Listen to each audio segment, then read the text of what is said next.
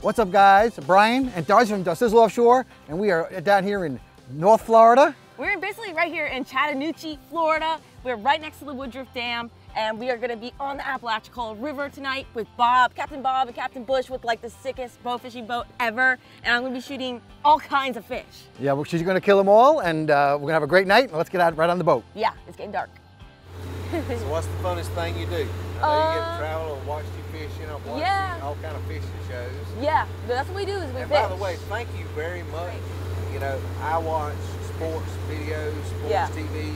I mean, that's what you do. do. Yeah. I mean, gotcha. That's, that's, what I like. So you like the hunting stuff and Everything. the fishing stuff. And I yeah. hunt, but right. I like watching television. Right. It's different adventures. You know, yeah. We started this 10 years ago, I just started posting on Instagram. We started dating back then 10 years ago and just went fishing on weekends, posted my pictures and stuff.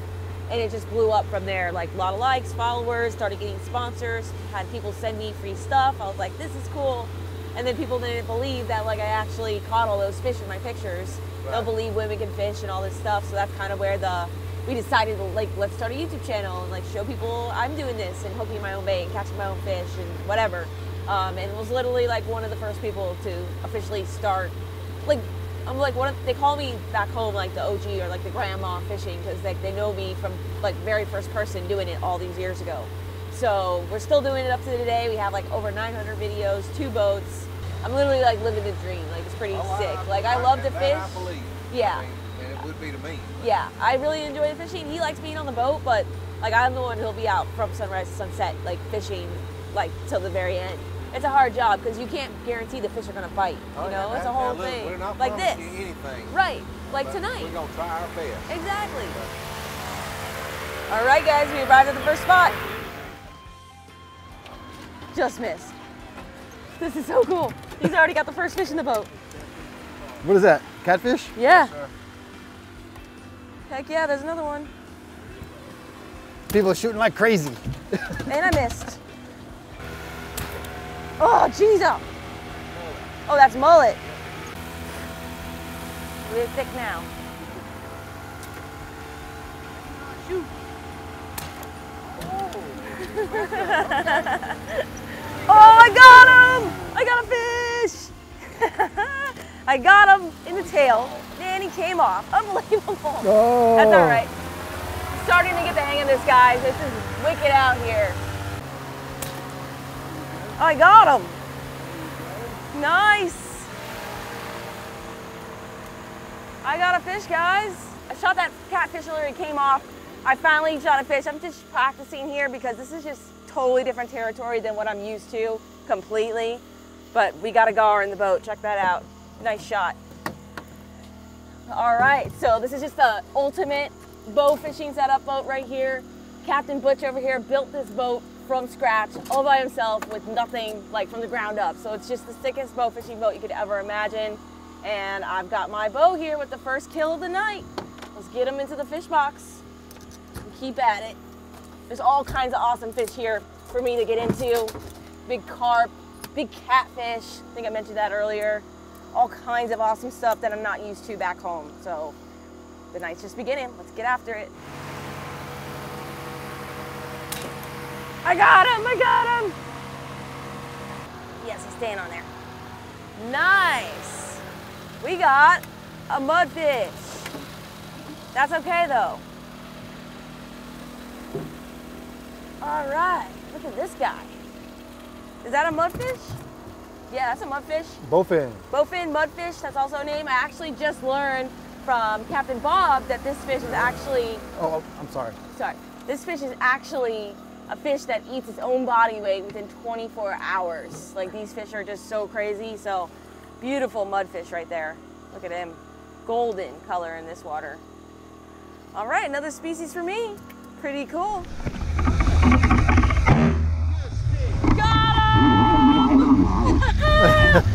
that was awesome, guys. Just shot a big old carp. And we literally just got my GoPro shut up, put it on, and he's like, shoot him. We got him. Yes, we gotta hold on. All right, guys, looks like I stoned this fish. Oh, he's stoned. Yeah, he's done. Look at this grass carp. So cool. Oh my God. It's massive. Thank you. Oh, Look at that fish! that was the biggest That's thing you ever officially shot. my biggest fish I've ever shot. Look at that! That is so sick. Big old grass carp. Perfect shot too. That's common carp. Oh, excuse me. It is a common carp, not a grass carp. I am incorrect. In a very large common carp. Common carp. Excuse me. All right. All right, we're gonna get on some more fish, guys. I'm gonna get this arrow out and I'll show you this beautiful fish. All right, this is about a, tw- a 30 to 35 pound common carp, approximately. Again, my biggest fish I've ever shot. So sick.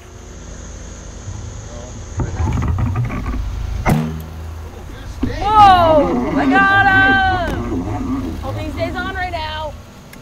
Good, Steve. Thank you. Oh my god, oh my god, he's running, he's running.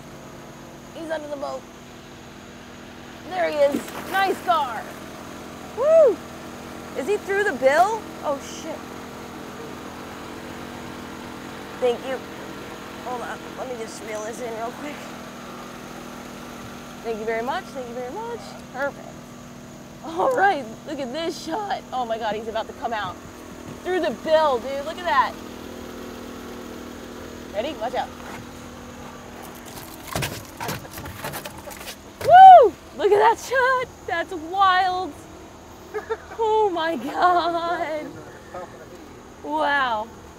That's how I shot that little guy that came off earlier. But that's gonna be my biggest gar. That's about to rip right through. All right, guys. So that's the, the traditional gar, correct? the traditional gar. That's a nice size one. Definitely, again, one of the biggest gars. Is the biggest gar I've ever shot. So let's get this bow out. But all these fish are so gorgeous in this clear, crystal clear fresh water that we're in today. That is the wildest shot. wow.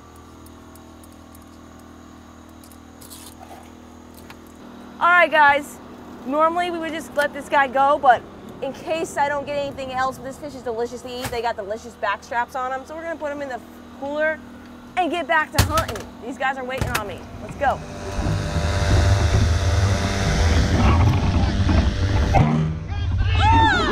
Oh! Yeah! That was Yeah, sick. look at that string. Thank you. Get it. Get it. Thank you. He stuck Woo! good. There's your damn I got a catfish. Check it out. Yeah, no worries. You're good. I know we're wrapped. I know we're wrapped. All right, guys, check that out. Gorgeous channel cat. That's a really nice one for this area. About 14 pounds.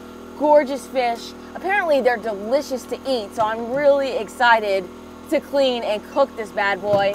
And once again, another fish I have never shot. Just amazing. And that was the coolest shot. Both of them missed it, and then I went and shot it and oh. managed to get it. But it was really cool. It was a team effort to like get this fish. And we that's what we've been doing is shooting each other's fish when we miss. And I just happened to get that fish really close to the boat. So that was pretty cool. Sweet. Got him. Got him. Got him. Woo! Oh, it came off. No, he didn't. No, he didn't. No, he didn't. Turn the boat around, bud. I got it. I got it. Don't hustle, don't, don't wrestle. You'll take that current and beat your tail. I got his tail. He's coming up. He's coming up. Nice fish. Nice fish. Woo! Big old cat. Is that a channel or that's a blue cat? Okay. I don't know my difference between cats yet. Woo! Another big channel cat for me. Now that is my personal best. Finally starting to get on some more fish. We're starting to see a lot more fish. Look at that shot right in the tail. He was just swimming by us and I got super lucky on that shot. I've literally probably made, I don't even know, a couple hundred shots tonight and shot five or six fish and had quite a few come out with the air barb. So it's definitely putting your time in on the water and shooting these delicious fish. Let's get the tip out. Woo, all the way back home to a sizzle. We made it! We literally got home the next day and then yeah, we're here. We're gonna fillet up this beautiful channel catfish. One of the big, give a big thank you to uh, to um, Butch and Bob for taking us out. There he is. big. It was really cool on this shot because he actually stuck it first right here with the bow and it, uh, the barb ended up coming out. That's where it first got stuck in there.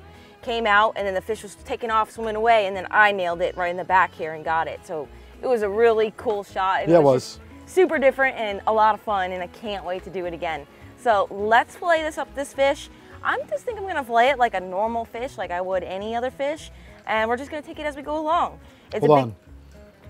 I gotta give a disclaimer. It's so it's so hot out right now. My camera, crazy. the lens keeps fogging up. So hold on a second.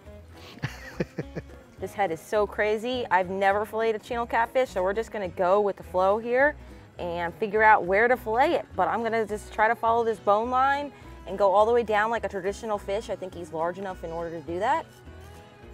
Just keep going down. And what about? I'm very excited I always hear about about pliers and pulling the yeah. skin off and all this stuff. I, I think you can do that with these larger fish, but I think that's more of a, using the pliers is better for the smaller catfish.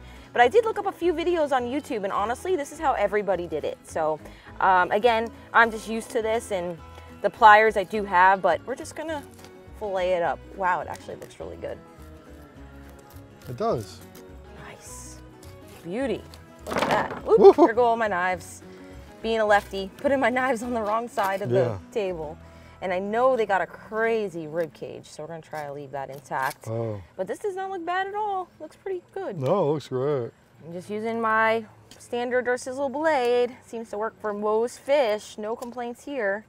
But I'm just trying to find out where, he's got a big old bone right there. And I know this rib cage sticks out quite far. So What's the name of that? Is it a hardhead catfish? Channel catfish. Oh, channel catfish. Channel catfish. Um, I know that this is probably like a 14, 13, 14 pounder here. Um, and I think they get bigger. And this is the first time you ever cleaned one of these, isn't it? Yeah. There was also blue cats in the river that we were in. We did see a few way deep underneath the water column. Yeah, that's all. That's all ribs in there. Yeah. And uh, we missed the shots on those guys, but there's up to 50 pound fish in that river. Crazy. All right, that's pretty good right there. Skin's and yeah, tough. I didn't take off these spines, just worked around it. Yeah. But did a pretty good job for my first time. So crazy. There's my shot. So we're just gonna, you know, cut around that. That's obviously um, meat. That's not good any longer. So I'm just gonna skin it up like a normal fish. I don't think it's the end of the world. If you guys think I'm doing this wrong, go ahead and comment below. But I know everybody has their way of flaying fish. But you know what? It's working. So we're not gonna complain. And then I'm just gonna keep it up a little bit. That looks like a ray almost right Off there. the skin line. Yeah, and using, I actually switched to my um, eight inch curved blade just so I can fillet it off nicely in all one take. The six inch is a little small.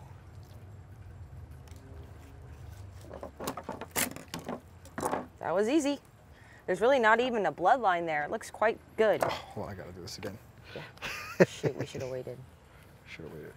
Huh? All right. All right. Yeah, looks good. Yeah. And then like these little things that were part of the tail, we can just slice that off, flip it around. I don't even think that's a bloodline to worry about. You could like go in there like that, cut that out, but that's really not even nothing. And then we're just gonna break that up into sections, like right here. Well, we're gonna we're gonna fry it, right? Fry it? Yeah. Sure. Yeah, and then we'll take off this piece. That's a little bit of waste, but whatever. And then just break it up into equal sections, and that's ready to eat. Woo! All right. Awesome. All right, filleted up my first channel catfish. And uh, let's head in the house and eat our first channel catfish. Cooking with Puddin.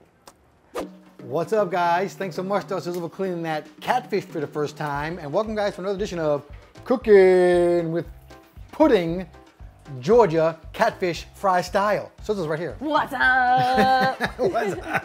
I'm high on mangoes over here. We've been having a lot of mangoes. yeah. Anyway, so I just did a simple thing with this fish and it's gonna go off in two seconds. But I, uh, in Georgia, they told me to fry fish.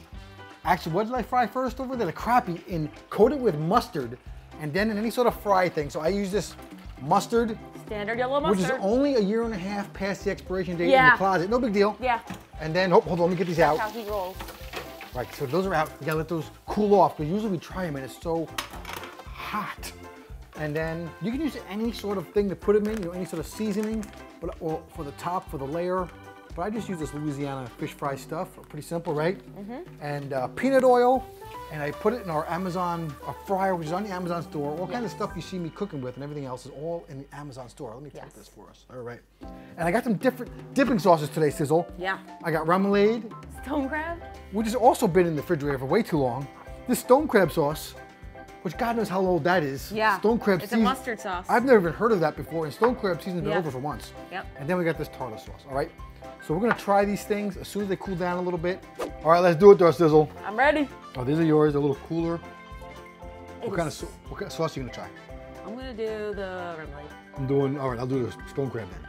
Here we go. Wow. Ooh, a little hot. Break. Okay, we're back. we always do that. I don't know if you guys watch it all, if you're new or not, but Yeah. we always do that. So, You ate my piece. Look how much Oh. he ate. no, I didn't eat any. What the heck, I had to cook. I gotta taste it to make I sure it's a big old good. piece right here That's what she said. with remoulade on it. All right, try it again. Here we go. Let's try it. I just went from like eating cold mangoes to eat, eating hot food, and uh, I have sensitive teeth, so that was not fun for She's me. over here cleaning mangoes. Man- when you have mangoes, you either have 100 mangoes or you have no mangoes. Let me see. Mm. Let's go. Still a little on the hot side, but very delicious. I mean, the super white meat. crab sauce is the best. Mm-hmm. the steam coming off it. I think the remoulade's the best. Yeah, we can see there's a nice coating on there. All right, good job, everybody. We both don't really fit in the screen. All right. I'm too fat. Not right here, I'll at least. He just like pushed me out of the way. All right, guys, that's about it for this video. Go ahead and comment down below if you want to see me shoot more giant fish like that. That was Ooh, that was awesome. Much fun. Thanks for watching. Until our next adventure, Follow your dreams and keep on catching at ease. Boom. Stay at ease at the campground. At ease down below. Don't, and don't forget this next video. I picked it out just for you. And subscribe, like, and share. Tell your friends.